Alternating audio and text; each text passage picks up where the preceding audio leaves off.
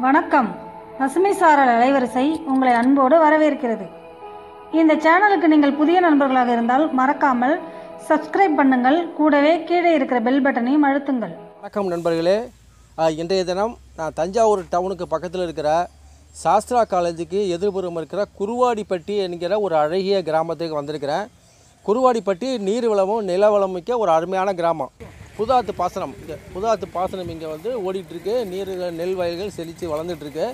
இங்கே பக்கத்தில் இருக்க அருமை நண்பர் அன்பு செல்வன் வந்து கடந்த ஒரு ரெண்டாயிரத்தி எட்டாம் ஆண்டு நம்மாழ்வார்கிட்ட பயிற்சி எடுக்கும்போது அதிலிருந்து எனக்கும் அவருக்கும் ஒரு தொடர்பு உண்டு.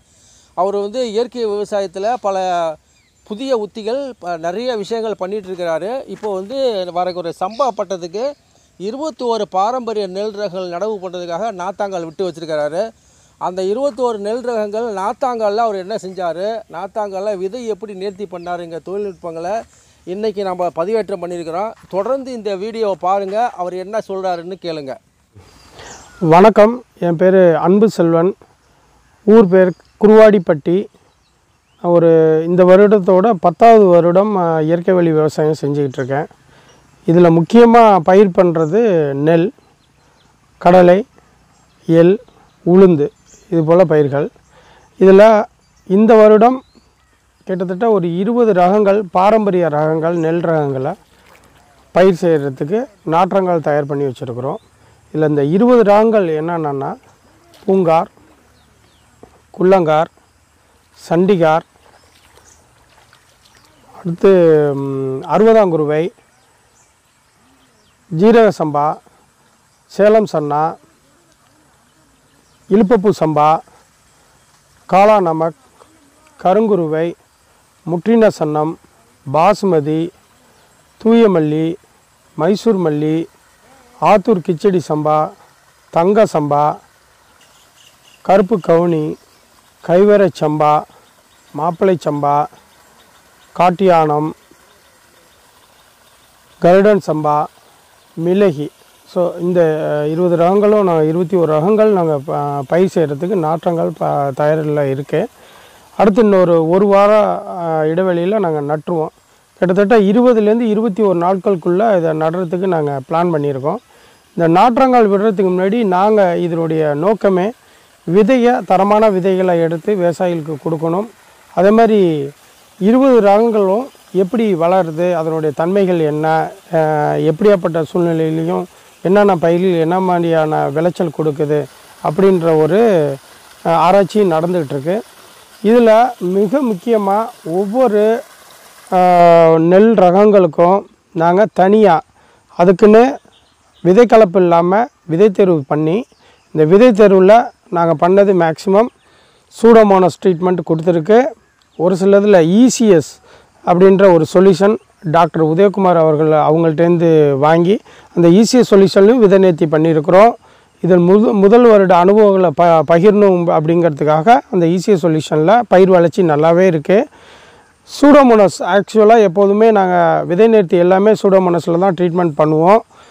அடுத்து பஞ்சகவியாக இருந்தாலும் பஞ்சகவியம் யூஸ் பண்ணுறது உண்டு. மாட்டு நீரும் கொடுப்போம். இல்லைனா மா வெறும் பச்சை சாணத்துலேயும் ட்ரீட்மெண்ட் கொடுத்துருக்க அனுபவம்லாம் உண்டு. இந்த வருடம் நான் செஞ்சுருக்கிறது சூடோமோனஸ் ட்ரீட்மெண்ட் ஈஸியாக சொல்யூஷன் இது ரெண்டுமே பண்ணியிருக்கிறோம். இதில் நாற்றாங்கால் தயார் பண்ணுறது நாங்கள் வந்து இந்த தடவை இயந்திரம் மூலமாக நடவு போடணுங்கிறதுக்காக இயந்திர நடவுக்காக நாற்றங்காலை செட் பண்ணிவிட்டு அதாவது ஒரு நல்ல சேர் அடித்து சேர் வந்து தயிர் பதத்துக்குன்னு சொல்லுவோம். அதாவது அள்ளி வச்சோன்னா ஒரு கட்டியோ மற்றதெல்லாம் இல்லாமல் அதை வந்து தயார் நிலை பண்ணி கீழே அந்த பிளாஸ்டிக் ஷீட்டை விரித்து அது மேலே அந்த விதை சட்டத்தை வச்சு குறிப்பிட்ட இடைவெளியில் மண்ணோட அளவை கொஞ்சமாகவும் அதே மாதிரி விதைகளை மேலே தூவி அதன் மேலே கொஞ்சம் எருவெல்லாம் போட்டு அது மேலே திருப்பவும் ஷேடு நட்டுன்னு சொல்லக்கூடிய அந்த க்ரீன் ஷேட் நட்டையும் போட்டு அது மேலே வைக்கல் போட்டு இது ஐந்து நாள் மூடாக்கு போட்டு அதுக்கப்புறம் தான் நாங்கள் நாற்றங்கள்லாம் விட்டு அந்த ஷேட் நெட்லாம் ரிமூவ் பண்ணோம். இதனுடைய வளர்ச்சி நன்றாகவே இருக்கும். ஏன்னா இந்த மூடாக்கு போட்டு நீங்கள் நாத்தங்காய் பராமரிக்கும் போது துரிதமான வளர்ச்சி கிடைக்கும் அப்படிங்கிற ஒரு நோக்கத்தில் தான் இது வந்து இரண்டாம் கொம்பாகவும் விட்டுருக்கோம் மூன்றாம் கொம்பாகவும் விட்டுருக்கோம் அஹ், நெல் ரகங்களில். இதில் வந்து வந்து பார்த்தீங்கன்னாக்கா நாற்றாங்காலை வந்து ரொம்ப எளிமையாக நீங்கள் இதில் கையாளலாம். மேலே பிடிச்சி ஒரு முடியை பிடிச்சி தூக்குனாலோட கையோடு வந்துடும் ரெண்டாவது பிளாஸ்டிக் ட்ரேலாம் நிறைய உடையக்கூடிய தன்மையில் இருக்கிறதுனால இந்த பிளாஸ்டிக் விரிப்பே நாங்கள் பயன்படுத்திக்கிட்டோம். கொஞ்சம் தரமான விரிப்புகள்லாம் இருக்குது அதெல்லாம் ஓட்ட விழாமல் நீங்கள் கரெக்டான பக்குவத்தில் நல்லா மண்ணை சமன் பண்ணி நீங்கள் வச்சுக்கிட்டிங்கன்னா அதனுடைய விரிப்பினுடைய லைஃப்பை நீங்கள் எக்ஸ்டன் பண்ணிக்கலாம். ரெண்டு மூணு வருடங்களுக்கூட வரும். இதில் இந்த இருபது ரகங்கள் விதை க விதைகளை வந்து கலந்துடக்கூடாது அப்படின்ற ஒரு நோக்கத்துலையும் இதை வந்து ஒவ்வொரு ரகத்துலையும் ஈஸியாக கையாளணும் எளிமையாக கையாளணுன்ற விதத்துலையும் இந்த ஒவ்வொரு ரகங்களையும் விதைச்சட்டம் மூலமாக நாங்கள் வச்சு பராமரிப்பு பண்ணி நல்ல முளைப்பு வர விட்டு இந்த மூடாக்க பிரிக்கிறது மூலமாகவும் விதைகள் வந்து மற்ற நெல்லோட கலப்பு இல்லாமையும் இதை எங்களால் ஈஸியாக உற்பத்தி பண்ணி நடவு செய்ய முடியுது. விதை நேர்த்தி நீங்கள் சூடோமோனஸில் பண்ணுறதுக்கு நீங்கள் நீங்கள் நெல்லில் வந்து நெல்லுடைய அளவுலேருந்து ரெண்டு மடங்கு நீங்கள் தண்ணியை சேர்த்துக்கிட்டு நீங்கள் ஊற வச்சு அந்த பதெல்லாம் ரிமூவ் பண்ணி அதில் ஊற வைக்கிறதுக்கு முன்னாடியே சூடோமோனஸ் உங்களுக்கு ஒரு ஒரு கிலோவுக்கு மூன்று கிராம் அளவில் நீங்கள் அதை வந்து சூடோமோனஸ் பவுடரை நீங்கள் மிக்ஸ் பண்ணி நீங்கள் தண்ணியிலேயே ஊற போட்டு நெல்மணிகளை ஊற போடும்போது தண்ணிக்குள்ளேயே கலக்கி நீங்கள் அதோடய சேர்த்து ஊற வச்சிடலாம் ஸோ ரொம்ப எளிமையாக இருக்கும். சூடோமோனஸோட இன்னொரு தன்மை கொஞ்சம் மணிச்சத்தையும் கரைக்கி கொடுக்கக்கூடிய தன்மையும் இருக்குது ஸோ சூடோமோனஸ் எதிர்ப்புஞ்சானமாக வேலை செய்கிறதுனாலையும் அதே மாதிரி நல்ல பயிருக்கு ஒரு நல்ல ஒரு எதிர்ப்பு சக்தியும் கொடுக்கக்கூடிய தன்மையில் இருக்கிறதுனாலையும் அந்த உயிர் உரங்கள் நாங்கள் பயன்படுத்தியிருக்கோம். உயிர் உரங்கள் கிடைக்கல அப்படின்ற பட்சத்தில் நீங்கள் வெறும் பச்சை சாணத்தில் கூட நீங்கள் வந்து ட்ரீட்மெண்ட் பண்ணலாம். ஸோ அப்படி இல்லைன்னா பஞ்சகவியா ரொம்ப எளிமையாக தயார்படுத்தி வச்சுருக்கவங்கள்ட்ட இருந்து வாங்கியோட நீங்கள் எளிமையாக பஞ்சகவியத்து மூலமாக நீங்கள் ட்ரீட்மெண்ட் பண்ணிக்கலாம். நீங்கள் பசுஞ்சாணத்து மூலமாக நீங்கள் விதை ட்ரீட்மெண்ட் பண்ணும்போது ஒரு பயிரோட ஒரு தண்ணியோட கலர் மாறுற அளவுக்கு நீங்கள் சாணத்தை கரைச்சிக்கிட்டீங்கனாலோட போதும். ஸோ ரொம்பவும் கரைக்க வேண்டியதில்லை. அந்த கரைச்ச சாணத்தை நீங்கள் தண்ணிக்குள்ளே ஊற்றணுன்ற அவசியம் கூட இல்லை. ஒரு சாக்கில் கூட அந்த சா அந்த அதாவது சணல் சாக்கில் பசுஞ்சாணத்தில் உள்ளே போட்டு ஊற போட்டு அதை எடுத்துட்டிங்கனாலோட அந்த களை பூரா அங்கே போய்க்கும் நுண்ணுயிர்கள். அதே மாதிரி அதுலேருந்து இருக்கக்கூடிய எக்ஸ்ட்ராக்ட் எல்லாமே ஒரு நெல்மணிகளை ஊற வைக்கும்போது நல்ல எதிர்ப்புஞ்சான மாதிரியே வேலை செய்யும். வீரியமாகவும் நெல்மணிகள் நல்லாவே வளரும். ஸோ வேர் ஓடுறதுலேருந்து எல்லாமே. ஸோ அதனோட அளவு அப்படின்றதுலாம் ஒன்றும் கிடையாது. நீங்கள் பசு சாணம் வந்து தண்ணியில் கலர் மாறக்கூடிய தன்மைக்கு இருந்தாலே போதுமானது. அதே மாதிரி சாணத்தோடு சேர்த்து நெல்மணிகளாக நீங்கள் ஒன்றா கொட்டிட வேண்டாம். ஏன்னா நெல்கள் வந்து நீங்கள் மூன்றாம் கொம்பை எடுத்து விதையை விடும்போது கையில் சாணத்திப்பிக்கலாக படும். ஸோ அது வந்து ஒட்டிக்கிட்டே வரும். ரெண்டாவது நீங்கள் சரியான வீச்சுக்கு வராது. ஸோ அதனால் கரைச்சி விடணுன்ற அவசியம் கூட இல்லை. ஒரு பசு சாணத்தில் சணல் சாக்கில் போட்டு அப்படியே முழுகி வச்சிருந்து எப்படி டீ டிகாஷன் வடிகட்டி எடுக்கிறாங்களோ அது மாதிரி எடுத்தால் கூட போதும். ஸோ பஞ்சகாவியோட அளவு அப்படின்றது பார்த்திங்கனாக்கா ஒரு நூறு லிட்டர் தண்ணிக்கு ஒரு மூணு லிட்டரே போதுமானது. நூறு லிட்டர் தண்ணிக்கு மூணு லிட்டர் தண்ணியை அந்த பஞ்சகான பஞ்சகாவியை ஊற்றி விதை நேர்த்தி நீங்கள் பண்ணிங்கனாலோட நல்ல வீரியமாக இருக்கும். நல்ல எதிர்வினையோட நல்ல செயலாற்றும். நாங்கள் இந்த இருபது ரகங்கள் எப்படி கேரக்டரிஸ்டிக்ஸ் பண்ணோம்னா இதில் வந்து எப்போதுமே எல்லா சீசன்லையும் விளையக்கூடிய ரகங்கள் ஒரு நாலஞ்சு ரகங்களாகவும் அடுத்து சம்பா பட்டத்துக்கு சன்ன ரகமாகவும் அதாவது புலாவ் வி அதே மாதிரி வாசனை மிகுந்ததும் அது மாதிரி சின்ன குழந்தை விரும்பி சாப்பிட்றது ரகங்களுக்காகவும் அடுத்து மத்தியான மீல்ஸ் சாப்பாடு இது மாதிரியான வெரைட்டி ஒயிட் ரைஸ் வெரைட்டி ஆகும். அப்புறம் நாட்கள் கூட உள்ள ரொம்ப மருத்துவ குணம் அதிகம் உள்ள சிகப்பு கருப்பு ரகங்களாகவும் நாங்கள் தேர்வு பண்ணோம். இதில் வந்து பார்த்திங்கனாக்கா ஒரு நாலு கேரக்டர் செக்ஷன் பண்ணதில் ஒரு இருபது ரகங்கள். அதில் அந்த பூங்கார் அறுபதாம் குருவை குள்ளங்கார் சண்டிகார் இதெல்லாம் வந்து எல்லா பட்டத்துக்குமே நல்லா வளருது. சம்பா பட்டத்தில் ஓரளவு நல்லா உயரமாக வளரக்கூடிய தன்மையில் உள்ளது. கிட்டத்தட்ட ஆறு அடி ஏழு அடி கூட வளருது. ஆனால் கொஞ்சம் நாட்கள் கூட போகுது. ஸோ பூங்காருடைய வயசு எழுபது நாள் எண்பது நாள்னு சொல்கிறோம்னா இந்த சம்பாவில் தொண்ணூறு நாளாவது நூற்றி பத்து நாள் கூட வருது. ஸோ அதே மாதிரி குள்ளங்காரம். ஸோ நூற்றி பத்து நாள் கூட வந்துடுது. ஸோ அடுத்து வந்து பார்த்திங்கனாக்கா ஜீரக சம்பா அதே மாதிரி இலுப்பப்பூ சம்பா. இதில் இந்த பாய் நாற்றங்கால் ஏன் விட்டோம் அப்படின்னா நாற்று பறிக்கக்கூடிய தன்மை எங்களுக்கு எளிமையாக்கப்படுது.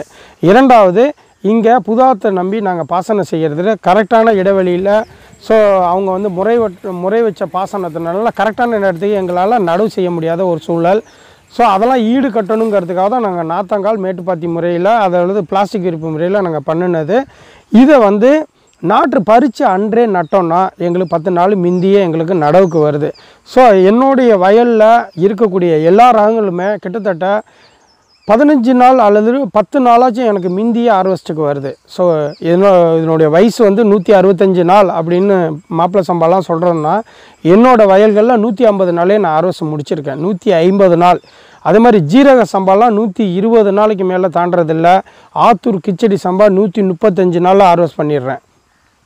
ஸோ அதே மாதிரி நீங்கள் வந்து கா காட்டு யானம் நூற்றி ஐம்பது நாளில் எனக்கு ஹார்வெஸ்ட் ஆகிடுது நூற்றி நாற்பது நாள்லேயே கருப்பு கவுனி எனக்கு ஹார்வெஸ்ட் ஆகிருக்கு ஸோ அதே மாதிரி ஜீரக சம்பா ஒன் டுவெண்ட்டி டேஸ்லேயே எனக்கு ஹார்வெஸ்ட் ஆகுது. ஸோ இதனுடைய வயசு எங்களுக்கு அதிகமாக குறைச்சி கொடுக்கறது வந்து இந்த நாத்தங்கால அன்றே பறித்து அரை மணி நேரத்துக்குள்ளே நாங்கள் நட முடிகிறதுக்கான ஸோ அந்த நாற்றை வந்து வேர் சேதாரம் இல்லாமவும் தாய் வித்து மண்ணோடு கொண்டு போய் நடவு செய்கிறதுக்கு எளிமையாக இருக்கிறதுனால தான் இந்த பராமரிப்பு என்னோடய அனுபவத்தில் க இது வந்து என்னோட பத்தாவது வருடம்.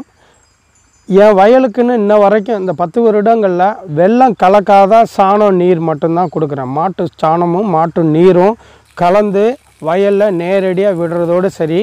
அதே மாதிரி ஆர்வஸ் பண்ணி முடித்தோன்னா மாடுகள் மாட்டுக்கிடை ஆட்டுக்கிடை நிறையா வைக்கிறோம். அதே மாதிரி வெளி நபர்களோட மாடுகளும் வந்து மேய விடுறோம். ஸோ அதனால மண்ணோட வளத்தை நாங்கள் மீட்டெடுத்துக்கிட்டே இருக்கிறோம். அதாவது மீட்டெடுக்குன்றதை விட தக்க வச்சுக்கிட்டே இருக்கிறோம். ஸோ அது ஒன்று நிறைய இலைத்தலைகள். நிறையா வந்து பார்த்திங்கனாக்கா இங்கே சுற்றிலுமே மரங்கள் இருக்குது அதை கழிச்சு போடுறோம். அதுலேருந்து விழக்கூடிய இலைத்தலைகள் மக்க வைக்கிறோம். ஸோ அதுக்கெல்லாம் வந்து சாணமும் மாட்டு நீரும் தான் இதுக்கு வந்து எங்களுக்கு அடிப்படை ஆதாரம். ஸோ அதிகமாக மாட்டு சாணமும் மாட்டு நீரும் நான் கொடுத்துக்கிட்டே இருப்பேன். பதினஞ்சு நாளைக்கு ஒரு தடவையாச்சும் ஐம்பது கிலோ அல்லது நூறு கிலோ அளவுக்கு சாணம் ஒவ்வொரு வயலுக்குமே போய் சேர்ந்துடும் ஸோ கிட்டத்தட்ட ஒரு மூன்று அன்னக்கூடை நாலு அன்னக்கூடை அளவுக்கு பச்சை சாணத்தை கரைச்சி விட்றது ஒரு ஐம்பது லிட்டர் மாட்டு நீரை கரைச்சி விட்றதோட சரி. தண்ணியை எங்கே பார்த்தாலும் ச சரிசமமாக நாங்கள் கட்டிட்டோம்னாலே அதனுடைய பச்சையும் குறைவதே இல்லை. தேவைப்பட்டால் நான் இந்த வரைக்கும் பூச்சி விரட்டின்னு ஒரு விஷயமும் கூட வயலுக்கு அடித்ததே கிடையாது. பூச்சிகள் இருந்தாலும் தன்னைத்தானேவே அந்த பயிர் சரி பண்ணிட்டு வளரக்கூடிய சூழ்நிலையில் தான் நான் அதை வளர்த்து மீட்டெடுத்திருக்கேன். ஸோ இதில் வந்து பார்த்திங்கனாக்கா பாரம்பரிய ரகங்களில் பூச்சிகள் வர்றது அளவுடைய குறைவு ரெண்டாவது மண்ணுடைய வளமும் இருக்கிறதுனாலையும் அதிகமாக அந்த வேப்ப இலைகள் இதெல்லாம் நாங்கள் வந்து நிறைய வயலுக்கு கொடுக்குறோம். அதே மாதிரி எப்போதுமே பச்சை சாணம் மாட்டு நீர் இது ரெண்டும் கலந்து ஒரு நாள் விட்டோன்னா மறுநாள் என்கிட்ட ஆடுகள் இருக்குது ஆட்டோனுடைய சாணத்தையும் அந்த ட்ரம்மில் போட்டு ஊற வச்சு அதையும் வயலுக்கு விடுறோம். ஸோ ஆடுகள் நல்லா கசப்பான பொருட்கள் நிறைய கொடுக்குறோம். அதாவது வேப்ப இலை அதே மாதிரி இருக்கிற சுற்று வட்டார தாவர இலைகள்லாம் சாப்பிட்றதுனால ஆட்டு எரித்தையும் நாங்கள் வந்து அதில் கரைச்சி கொடுக்கறதுனால பூச்சிகள் வரணுன்ற ஒரு இடர்பாடே நான் சந்தித்ததே கிடையாது. ஸோ இதுதான் வந்து எனக்கு ரொம்ப எளிமையாக படுது. ஏன்னா ஒரு வயலுக்கு உரம் அடிக்கிறது செலவு. அதே மாதிரி வாங்கக்கூடிய போய் வாங்கிட்டு வர வாங்கிட்டு வந்து அதுக்கான டிரான்ஸ்போர்ட் எல்லாமே நீங்கள் ஈடு பண்ணி பண்ணுறதை விட நம்மள்கிட்ட இருக்கிறத வச்சு நாங்கள் விவசாயம் பண்ணிகிட்ருக்கோம் கிட்டத்தட்ட பத்தாவது வருடம் இதை நிறைவு செய்கிறோம் ஆ வணக்கம் நண்பர்களே. இந்த வீடியோவை நீங்கள் தொடர்ந்து பார்த்துருப்பீங்க என்று உறுதியாக மனமாற நம்புகிறேன். இந்த வீடியோவை நீங்கள் தொடர்ந்து பார்த்தமைக்கு என்னுடைய மனமாற நன்றி தெரிவித்துக் கொள்கிறேன். மேலும் இந்த வீடியோ உங்களுக்கு பிடித்திருந்தால் லைக் பண்ணுங்கள் ஷேர் பண்ணுங்கள் கமெண்ட் பண்ணுங்கள். அத்தோடு இதே போன்ற ஒரு நல்ல வீடியோவில் உங்களை சந்திக்கும் வரை உங்களிடமிருந்து அன்போடு விடைபெறுவது உங்கள் பசுமை எட்வின்.